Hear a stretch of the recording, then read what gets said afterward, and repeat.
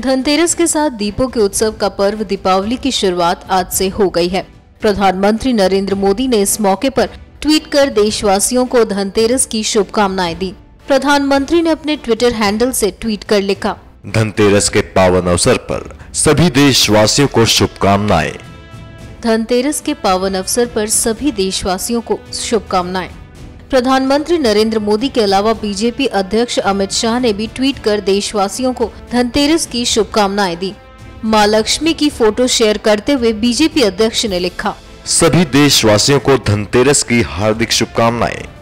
मध्य प्रदेश के मुख्यमंत्री शिवराज सिंह चौहान और केंद्रीय मंत्री स्मृति ईरानी ने भी देशवासियों को धनतेरस की शुभकामनाएँ दी।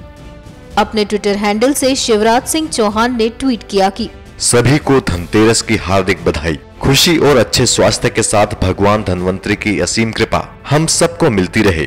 वहीं केंद्रीय कपड़ा मंत्री स्मृति ईरानी ने ट्वीट किया, धनतेरस का शुभ दिन हर किसी के जीवन में अच्छा स्वास्थ्य, समृद्धि और खुशी लाए। शुभ धनतेरस। गौरतलब है कि दिवाली से दो दिन पहले धनतेरस मनाया जाता है।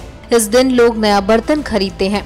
हिंदू मान्यता के अनुसार धनवंतरी जब प्रकट हुए थे तो उनके हाथों में अमृत से भरा कलश था। भगवान धनवंतरी चूँकि कलश लेकर प्रकट हुए थे, इसलिए ही इस अवसर पर बर्तन खरीदने की परंपरा है। एनएमएफ न्यूज़ की रिपोर्ट।